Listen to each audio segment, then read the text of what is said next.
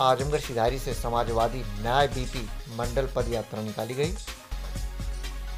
जो सरजू पांडे पार्क कचहरी से सिधारी होते हुए गाजीपुर की तरफ़ पद यात्रा निकाली गई। पद यात्रा 9 से शुरू होकर 24 जनवरी तक चलेगी। आरक्षण दे दिया जाए।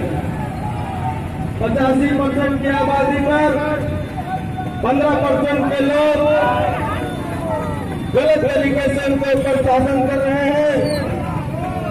उनको दबाने का प्रयास कर रहे हैं। आरक्षण दे दिया जाए। पचासी परसेंट की आबादी पर, पंद्रह परसेंट के लोग